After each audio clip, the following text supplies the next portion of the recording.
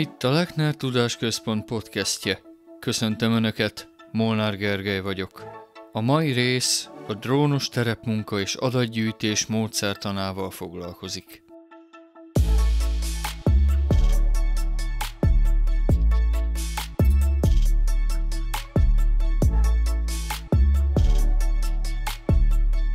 Lechner Tudásközpont élen jár a drónos adatgyűjtések, felmérések hazai technológiáinak fejlesztésében és gyakorlásában. Drónjai nagy teljesítményű lézerszkennereket és fényképezőgépeket is a levegőbe tudnak juttatni. Akár 300 méter magasságba, szélsőséges hőmérsékleti viszonyok között is. A drónos adatfelvétel tapasztalatairól Balog Norbertel, Mrüsán Tamással és Szabó Roberttel, a 3D építésügyi módszertani osztály szakértőivel beszélgetünk. Balog Norbert 2020 óta dolgozik a Lechner Tudásközpontban, terepi adatgyűjtő. A Debreceni Egyetemre járt, CNC programozó, épületgépészeti automatizálási szakember. Régóta szenvedélye a drónozás. Mrüsán Tamás 2019 óta dolgozik a vállalatnál térinformatikai szakértőként. Az ELTE földrajzszakán végzett geográfus, geoinformatikus. Szabó Robert térinformatikai szakértő másfél éve csatlakozott a Lechner csapatához. Földmérő és földrendező mérnök az Óbudai Egyetemen végzett geoinformatika szakirányon. Kedves kollégák, szeretettel köszöntelek benneteket a stúdióban. Sziasztok! Sziasztok! Sziasztok! Kezdjük akkor az alapoknál. Mi az a fotogrammetria és a lézerszkennelés? Robi. A fotogrammetria egy olyan távérzékelési forma, melyben eredetileg földmérési, térképészeti vagy geodéziai céllal nagy területekről egy időben rögzített sorozatfelvételek, speciális feldolgozásán keresztül metrikus, mérethelyes adatgyűjtés, modellezés vagy térképezés történt, Manapság viszont már jóval kisebb dolgokról, például emberekről is csinálnak fotogrammetriával metrikus mérethelyes modelleket. A lézerszkennelés pedig egy olyan távérzékelési technológia, ahol egy műszer lézersugarak segítségével rögzít egy pontnak távolságokat és hozzájuk tartozó vízszintes, illetve magassági szögeket egy adathordozóra. Ez az adatgyűjtés egy forgó lézerfel segítségével történik, amelyből feldolgozás után egy háromdimenziós, valós, színes, milliméterpontos pontfelül keletkezik. Ez a mérés történhet levegőben, szárazföldön és vízen egyaránt. Hogyan zajlik egy felmérés, és milyen utómunkák követik? Sziasztok, én Tamás vagyok. Ha már megvan az eseti légtér engedélyünk, amivel tudunk repülni, vagy éppen olyan területre megyünk repülni, ahova ez nem szükséges, akkor elsősorban repülés szükséges tervezni, ez általában irodában történik számítógépen. Megtervezzük, hogy milyen magasan repülünk, a drón a sorokat milyen sebességgel repüli, a sorok között, ahogy készülnek a képek, milyen átfedéssel készülnek a képek, Igazából minden a, repülésre és a fényképezésre vonatkozó adatot megtervezünk az irodában, aztán nyilván, hogyha kiérünk terepre, ezek még módosulhatnak. Hogyha megtörtént a tervezés, és a terepre kiérve igazából úgy, úgy ítélünk meg minden körülményt, hogy ez alkalmas a repülésre, itt gondolhatok arra, hogy semmi olyan jelet nem tapasztalunk, hogy itt most komoly vihar fog érkezni, nincsenek a közelben nagyon nagy átjátszó állomások, amik a drónnak a jelébe belezavarhatnának, nem látjuk azt, hogy éppen egy hatalmas csoport japán turista közeledik felénk, miközben felszállnánk a drónnal, szóval hogyha a biztonsági tényezők uh, rendben vannak, akkor igazából felszállhatunk a drónnal, és megejthetjük a felvételezést. A japán turista csoport milyen veszélyeket rejteget amúgy? Hát a japán turista igazából, ha már repül a drón mondjuk 100 méter magasan, akkor nem veszélyes, de amikor a hősök terén repültünk például, ami, vagy az Andrási úton, ami mindkettő egy klasszikus turisták által uh, látogatott helyszín, azért nem egyszer tapasztaltunk olyat, hogy bármennyire is próbálunk integetni, lekeríteni a drónt, akárhányan is vagyunk kint, az emberek nem figyelnek rá, pláne hogyha hangzavar van, mennek mellettünk a kocsik. Én éppen szállok le a drónnal, és az emberünk meg elkezd besétálni a drón alá, amikor mondjuk már csak 10 méter magasan van. Nyilván én figyelek, de sokkal optimálisabb eset lenne, hogyha mindenki más is figyelne. De nyilvánvalóan most egy turista csoporttal ez nem elvárható, de a hősök terén például erre fokozottan kellett figyelni. Mit tudnak a Lechner drónjai a puszta fotózáson és videózáson túl? Milyen kapacitás jellemzi őket, például magasság, precizitás, üzemidő? Sziasztok, Norbi vagyok.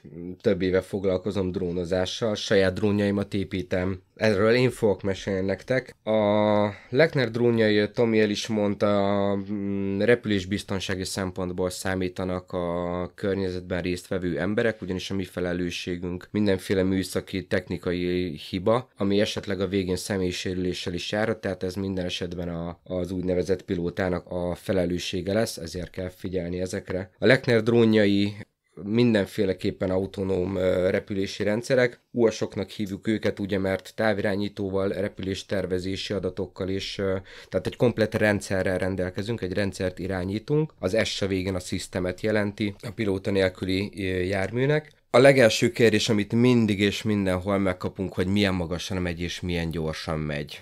Always it depends on, tehát ez mindig attól függ. Lényegében jogszabályhoz vagyunk kötve, hogy 120 méter felé nem repülünk. A drón sebessége pedig a fotózástól fog függni, amit ugye Robi szokta általában beállítani a fényképezőgépeket, ő, ő van otthon ebben.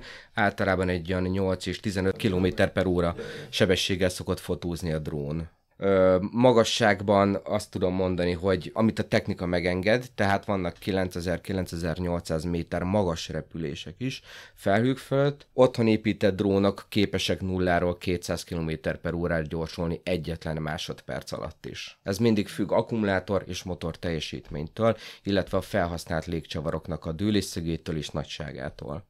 A Lechner drónjai nyilván egy olyan 8-15 kilométert illene, hogy tudjanak repülni, akár látótávolságon kívül is, körülbelül, körülbelül ezt tudják a gépeink. A kisebb drónunk ugye ő távérzékelő kell van ellátva, tehát ütközni nem igazán tud. A nagyobb drónunkkal veszélyesebb, odafigyelősebb egy kicsit a repülés, mert neki nincsenek érzékelői ütközésre képes. Igazából tudna gyorsan repülni a drónunk, csak nekünk a fényképek minősége miatt kell lelassítanunk a drónokat, hogy szépek legyenek a fényképek, amit csinálnak. Tűéles képeket kell készítenünk minden esetben. És igazából ugyanez ez vonatkozik a magasságra is, hogy most fel tudna repülni a drónunk 2000 méter magasra is, de általában hát drónos távérzékelést pár száz méternél magasabbról nem szoktak végezni, mi is általában 120 méternél magasabbra nem szoktunk repülni. Gondolom elég intelligensek is ezek a drónok, ugye? Ha például épp kilométerekre repül a kezelőtől és elkezd merülni az aksia, akkor sem zuhan le? A repülés tervező programmal beállítjuk az útvonalat, általában aksi időre korlátozzuk a repülési útvonalat. Ha nagyobb területet kell repülni, akkor több repülésben rakjuk össze az adott munkánkat, illetve bármilyen üzemi hiba esetén van egy fail-safe nevezetű program. Ha jelet veszt, akkor álljon meg a drón, kezdjen el lebegni, szálljon le ott, ahol van. Ez attól függ, hogy a kezelő mit állít be neki. Milyen szakképzettségre és speciális dokumentumokra van szükség egy közterületi drónozáshoz? Ahhoz, hogy mi kimehessünk egy helyszínre és repülhessünk, ahhoz nagyon-nagyon sok papírmunka kell. Először is az, hogy a Honvédelmi Minisztériumnál, illetve a Építésügyi és Közlekedési Minisztériumnál, mint üzemben tartó a Leknár be legyen jegyezve. Tehát ugyanúgy kell gondolkodni az egészen, mint gépkocsiról, hogy kell egy üzemben tartó, kell a drónnak egy lajstromszám, illetve ugyanúgy kell hozzá jogosítvány. A drónoknál is úgy van, hogy van több fajta, mi az osztályon jelen, jelenleg az A1, A2, A3 jogosítványokkal rendelkezünk, és ez még csak az, hogy van egy drónunk, illetve egy cégünk, aki, aki drónozhat, és akkor, ha most Tamás felhozta például a hősök terét, a hősök terére kell igényelni légtér engedélyt, eseti légtérengedélyt, ezt megint csak a Honvédelmi Minisztériumtól kapjuk meg, illetve, ha most nem a hősök teréről beszélünk, hanem mondjuk egy Eszterházi kastélyról, ott meg a helyszínnek a hozzájárulása kell ahhoz, hogy, hogy mi oda bemehessünk, mi ott felszállhassunk, mi ott felvételeket készíthessünk, mert most ez a GDPR már nagyon, nagyon-nagyon véd az embereknek, meg a cégeknek, épületeknek a jogait.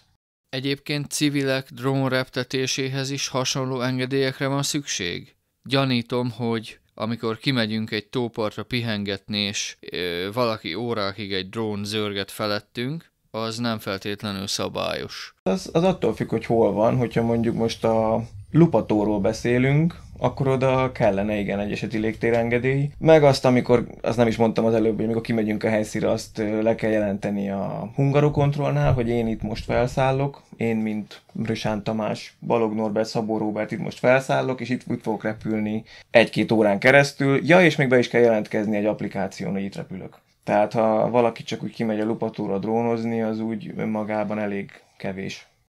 Milyen időjárási körülmények lehetetleníthetik el a repülést? A köd, a szél, az eső tilalmasnak számítanak?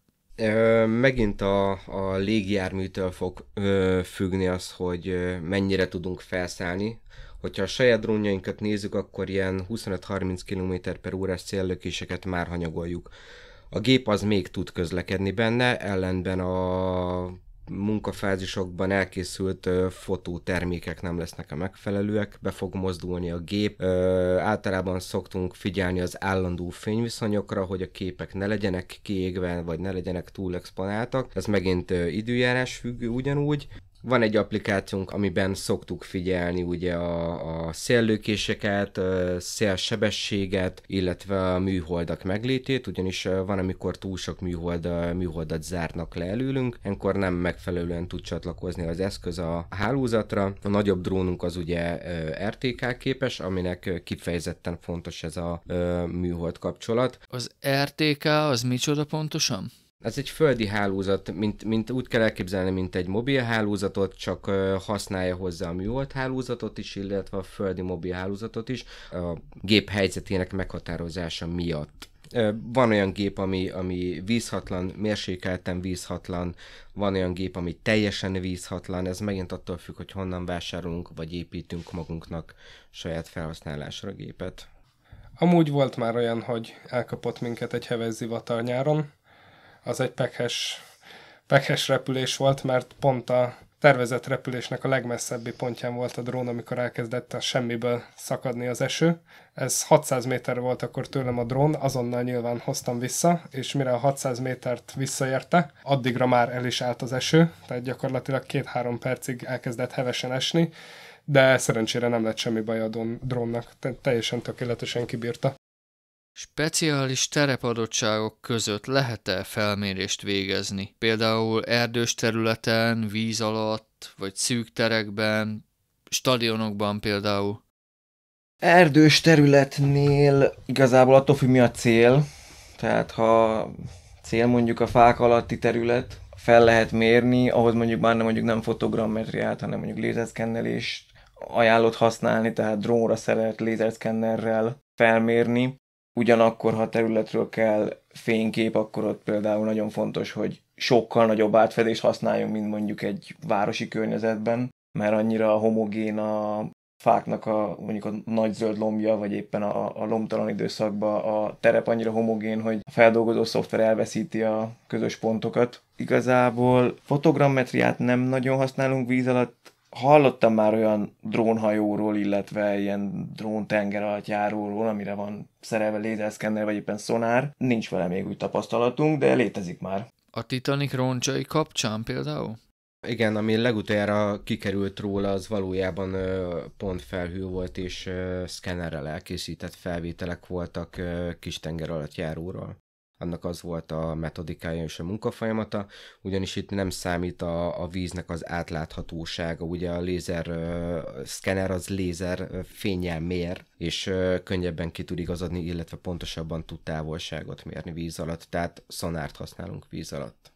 A stadiont, amit kérdeztél, stadionnál is ugye megint csak az, hogy mi a cél, tehát hogy a lelátó, ha fontos, akkor oda is inkább lézerszkennelnénk, mint mind fényképeznénk, ugyanakkor az egész területről meg, meg inkább fényképeznénk. És épületek esetében? Például egy műemlék templom, katedrális, ahol sok kis szobrocska, tornyocska, tetőkiszögellés, stb. van. Az új zsinagógánál csináltunk ilyet, ugye itt elég magasan vannak a nagyon-nagyon díszes csúcsok, illetve kupolák, az, az, az drónos felvétel volt például, tehát az fotózás alapú pontfelhőkészítés történt. Az alsó részekről pedig falomkoron alatti falfelületről pedig kézi fotózással, és majd később az irodában lesz majd összeillesztve ez a két pontfelhő, illetve kivágat. Ilyenkor szinte egy helyben áll a drón?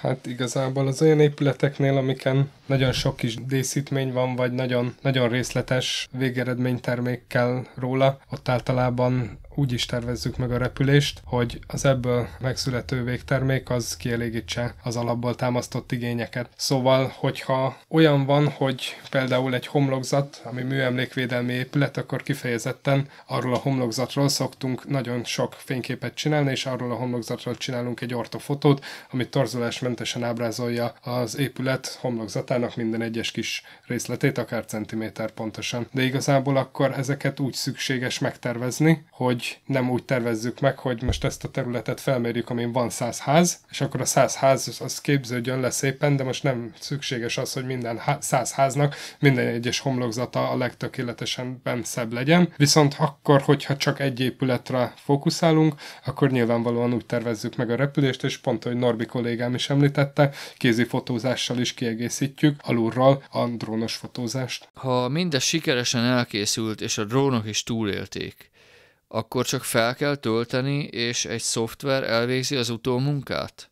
Vagy ennél egy kicsit azért bonyolultabb a dolog? Az utómunka igazából ez sokféleképpen történhet. Általában ez, ez történik, amit mondasz, csak egy kicsit, kicsit bonyolultabb ennél. Feltesszük egy szoftverbe, és majd a szoftverből lesz valami végeredmény. Az elkészült képek, ugye, mint korábban említettük, többen is szerintem az átfedést, ez azért nagyon fontos kritériuma a repülésnek, mert a fotogrammetria, legalábbis ez a része, ez a Structure from Motion, amit mi használunk, ez úgy működik, hogy a átfedő képek, amik készültek egy adott területről vagy objektumról, azokon a képeken megkeresi a közös pontokat. Ezért szükséges, hogy nagy átfedés legyen, hogy minél több ilyen közös pontot tudja megtalálni a képeken. És ezekből a közös pontokból elkészül úgymond egy ritka pontfelhő, amit aztán később tovább sűrít maga a program. Ebből lesz egy sűrű pontfelhő, amiből meg már lehet poligonhálós modellt építeni. Ezek a mesh modellek, ezekre lehet textúrát készíteni, és ha már van valami ilyen modellünk, domborzatmodell vagy mesh modell,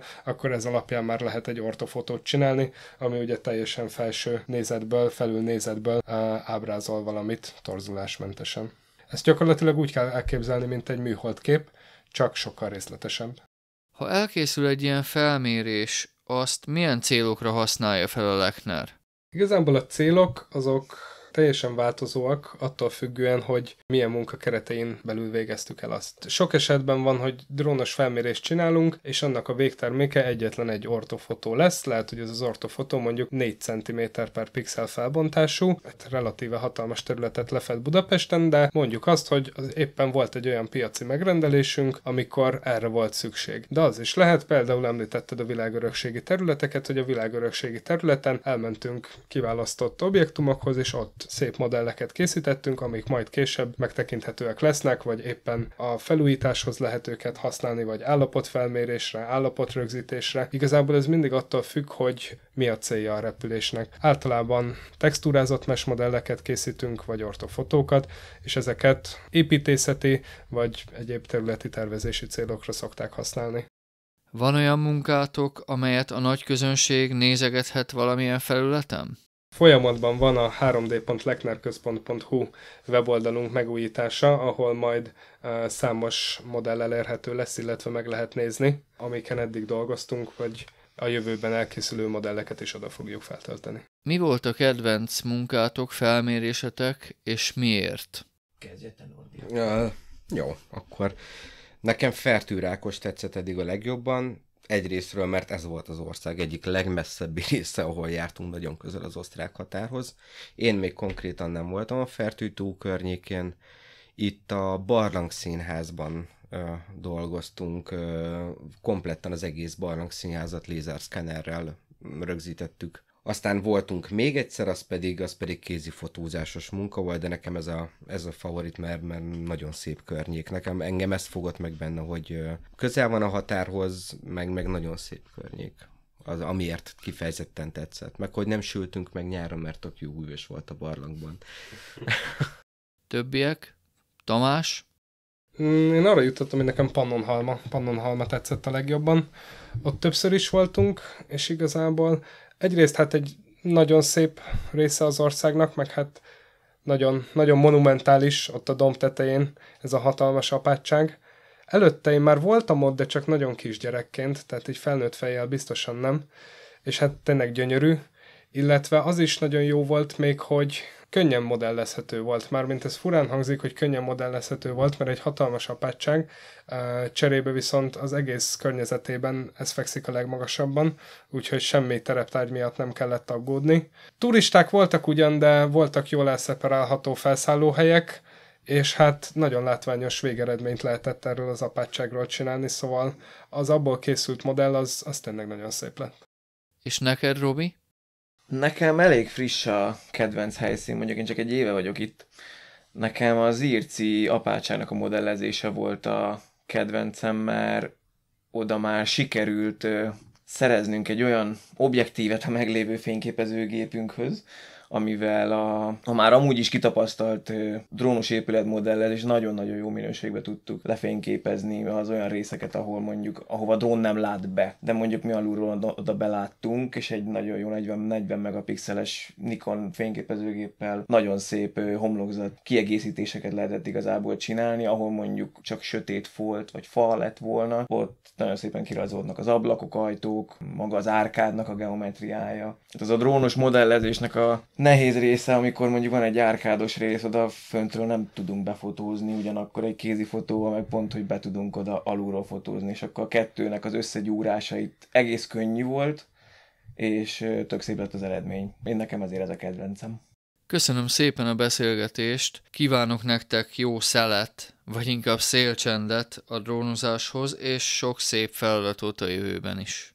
Köszönjük szépen. Köszönjük. Köszönjük szépen. szépen! Hallgatóinknak pedig ajánljuk a Lechner Tudásközpont honlapját, lechnerközpont.hu, ahol böngészhetik a terepi adatgyűjtések eredményeit.